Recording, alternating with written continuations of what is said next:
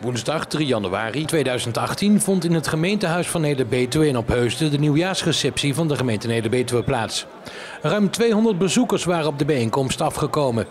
In zijn nieuwjaarstoespraak schetste burgemeester Kottelenberg een positief beeld van de gemeente. Het gaat ontzettend goed met Neder-Betuwe en we gaan het nog beter maken dit jaar. Wel een kritische noot ook. Ehm, en dat was? Uh, hebben wij wel in de gaten dat wij voor alle burgers gemeente zijn. En we hebben nog te veel burgers die wij uh, niet spreken. Die uh, het gevoel hebben dat, het, dat het, het goed gaan niet hun betreft. En die mensen wil ik ook gewoon in gesprek aangaan. En wat ik belangrijk vind de komende jaren is dat wij meer gebruik maken van de burgerkracht. Oftewel, we moeten het samen doen. Ja, uh, het, het, het, zij, zij daar en zij die refo's, zij die uh, rode, hè, zij die van de gemeente. Nee, wij maken met elkaar de gemeente en de gemeenschap. U bent uh, zeg maar nog nieuw, hè? nat achter de oren zullen we maar zeggen. Hoe bevalt het u in de gemeente? Ik ben hier nieuw. Uh, ik heb heel wat achter de rug gehad. Het is een fantastische gemeente. Het is een hele bijzondere gemeente, vanavond ook gezegd is. Maar ik geniet elke dag uh, van, de, van, de, van de samenleving zoals ik die hier aantref. Ja, samen doen betekent ook verder kijken dan de gemeentegrens. Absoluut. Uh, een van de opdrachten die ik heb gekregen ook van deze gemeente toen ik hier kwam is... Uh, profileer ons in de regio. Wij willen onderdeel zijn van de regio Rivierenland. Uh, en daar ben ik volop mee bezig om te kijken is van... heel veel dingen kunnen we zelf, heel veel dingen kunnen we ook niet zelf. Die moeten we echt in een grote verband doen. En daarvoor is de regio Rivierland, de Fruitdelta zeg maar, een heel goed platform voor. En daar doen wij volop aan mee vanuit deze gemeente roeptoeteren langs de zijkant via social media, dat is ook zo'n punt, hè? Ja, heb ik ook genoemd vanavond. Zo van, uh, kijk, ik, ik, ik, heb niks over social media, maar beperk je niet tot de social media. Dus uh, ik heb gezegd van, uh, er is één moment in de vier jaar waar je echt wat kunt betekenen voor deze gemeente. En dat is naar dat stemhokje gaan, dat rode potlood pakken en stemmen op de partij, de persoon waarvan jij denkt, die, die vertegenwoordigt wat ik wil en wat ik vind. En dan ben je echt bezig om zaken te veranderen en kun je mensen ook aanspreken. En dat is niet door social media een beetje te gaan ja, zeiken over wat er gebeurt. Um, als we kijken naar de opkomst, waar ben u, bent u tevreden? Ik in deze gemeente uh, een eind boven de 80 procent. Wat gaat u daar uh, onder andere aan doen? Uh, ik ga in ieder geval alle nieuwe kiezers uh, oproepen om te komen gaan stemmen. Voor hen is het de eerste keer. Uh, en ik zit nog te denken is of ik een leuke prijsvraag kan bedenken om die jongeren op te roepen om te komen stemmen. Want voor hun is het belangrijk dat zij leren gewoon dat het een, een, niet alleen een recht is, maar eigenlijk ook een burgerplicht om, om te stemmen. en verder gaan wij gewoon, ja, ook gewoon bekendmaken dat er verkiezingen zijn. Maar natuurlijk de politieke partij, aan hen is het om hun kiezers te mobiliseren. Maar voor mij is gewoon kiezers, ga stemmen, maak gebruik van je recht uh, om je eigen bestuur te kiezen. En als je dat niet doet, moet je niet laten gaan zeuren dat er dingen gebeuren die je niet wilt. Want dan ben je ook gewoon, doe je niet aan het spel mee. Naast Kottelenberg spraken we ook met Robert Doornbos. Hij is teamchef van politie De Waarde. Ik heb een primeur dit jaar gehad om met burgemeester Kottelenberg van de Betuwe uh, gezamenlijk uh, oud en nieuw te vieren.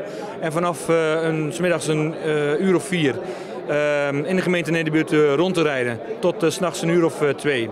Waarbij we uh, alle dorpen zijn afgegaan en met name in Dodewaard ons hebben opgehouden.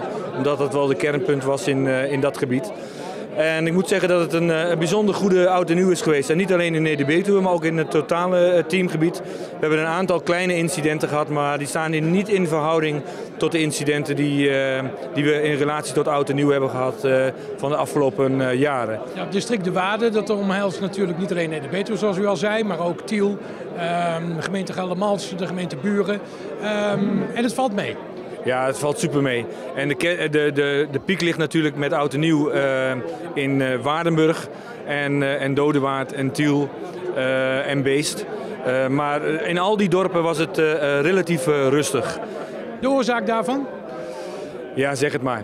Uh, wat wij geprobeerd hebben als politie is vroegtijdig interveneren, kleine dingen klein houden vroeg gesprekken aangaan met mensen. Dus uh, uh, jongeren die we tegenkwamen, uh, er naartoe gaan, ertussen gaan, gesprekken aangaan.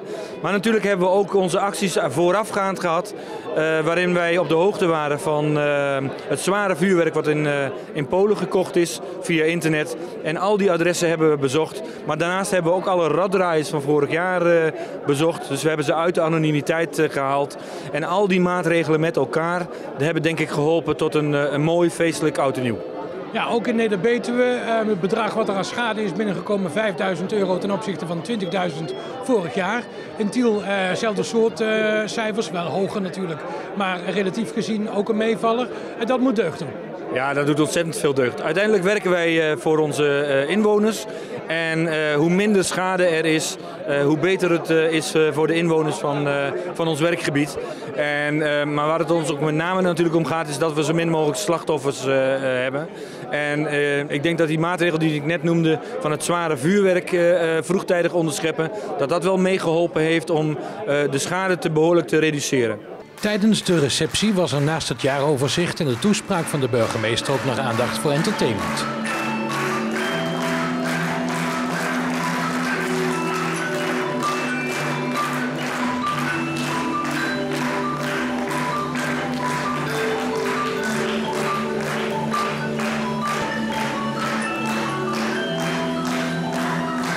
Nederlands grootste circustalent.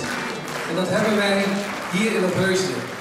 Jij doet dit naast je schoolcarrière? Ja, inderdaad. Ik zit nu op het ROCRF in Tiel.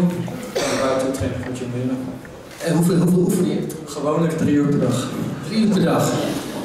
En hoeveel uur school doe je? Gewoon uh, fulltime? Ja, fulltime. Uh, uh, ROC, op ROCRF voor marketingcommunicatie. Marketingcommunicatie, ja, dat, dat doe je aardig goed. Dus, Jij, was, jij bent gewoon de grootste circustalent van Nederland. Wat, wat hield dat in? Wat was dat voor competitie? Uh, het was een competitie voor hoe het al zegt, het grootste circustalent van Nederland. En er werden 18 artiesten uitgenodigd in uh, Leeuwarden. En dan gingen we strijden tegen een vijfkoppige jury. Waaronder de weduwnaar van uh, Tony Bottini, die ik denk allemaal wel kennen, bij Pen Bottini. En daar kreeg ik als compliment echt een rasartiest. Dus dat is wel mooi te horen. Geweldig. Ik, ik ken het liedje van drie katerballen in de net. Hè? Dan denk je drie katerballen. Ik heb het nooit gekund. Ik weet niet of over u het komt. Hoe, hoe, komt een jongen ertoe om dit te gaan doen? Ja, vroeger was ik gefascineerd van het circus. En uh, toen kwam ik in contact met jongleren en dat begon me toch wel. Zo was het uitgebreid helemaal. Toen had ik op mijn 17 de, mijn eerste prijs allemaal zelf aangeleerd? Ja, precies. Nooit op de school of zo gezeten. Nee. En dat, en dat op Heusden?